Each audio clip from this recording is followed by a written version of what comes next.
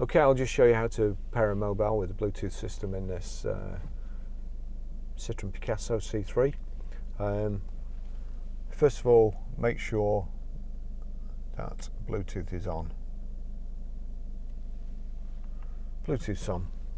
Onto menu, highlight Bluetooth, telephone audio, click OK. Highlight Bluetooth configuration, click OK. Um, I'll just check this phone isn't in here. No, it's not. So uh, I'll go back, click OK.